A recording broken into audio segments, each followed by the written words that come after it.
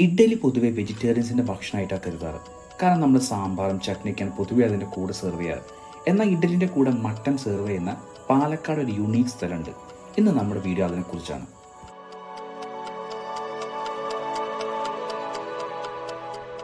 പാലക്കാട് ടൗണിൽ തന്നെയുള്ള ഹോട്ടൽ ശ്രീ വിജയലക്ഷ്മി വിലാസാണ് നമ്മുടെ സ്ഥലം. പത്ത് എഴുപത് വർഷത്തോളം പഴക്കല റെസ്റ്റോറന്റ് ആണെന്ന് പറഞ്ഞത്. ഇവിടെ ഒരു പഴയ സെറ്റപ്പ് ആണെങ്കിലും ഇവിടുത്തെ മെയിൻ അട്രാക്ഷൻ പറഞ്ഞാൽ ഈ കാണുന്ന മട്ടൻ കറിയും അതിന്റെ കൂടെ കൊടുക്കുന്ന ഇഡ്ഡലിയാണ്. തമിഴ്നാട്ടിൽ ജീവിച്ച എനിക്ക് ഇഡ്ഡലിന്റെ കൂടെ ഒരു നോൺ വെജ് വിഭവം സെർവ് ചെയ്യുന്നത് വലിയൊരു സംഭവമായിട്ട് തോന്നാറില്ല. നിങ്ങൾ തമിഴ്നാട്ടിലോ അല്ലെങ്കിൽ ബാംഗ്ലൂരൊക്കെ പോയി കഴിഞ്ഞാൽ ഇത് യൂഷ്വലി നിങ്ങൾ കാണും. എന്നാൽ കേരളത്തിൽ ഇത് വളരെ യുണീക്കായിട്ട് നമുക്ക് പൊതുവെ തോന്നാറ്. കാരണം കേരളത്തിൽ വേറെ എവിടെയും കൊടുക്കുന്ന കഴിഞ്ഞാൽ ഇതൊരു കേട്ടിട്ടില്ല വേണമെങ്കിൽ നമുക്ക് സെർവ് ചെയ്യുമായിരിക്കും. എല്ലാവരും ഇവിടെ ഇഡലിന്റെ കൂടെ മട്ടന്റെ കറിയൊന്നുമല്ല ചട്നിയോ സാമ്പാറൊക്കെ തന്നെയാണ് കഴിക്കുന്നത്.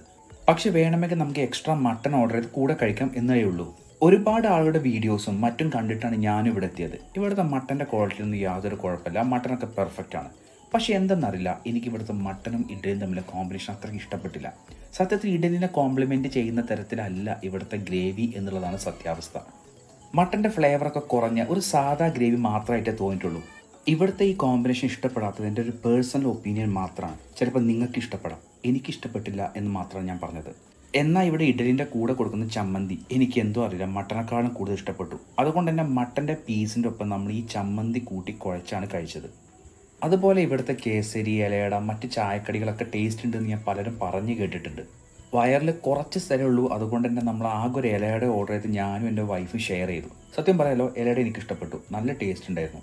പാലക്കാടിലെ ഈ ഒരു വിസിറ്റിൽ എന്റെ അവസാനത്തെ മീലാത് ഏറ്റവും എക്സ്പെൻസീവ് മീലും ഇത് തന്നെയായിരുന്നു.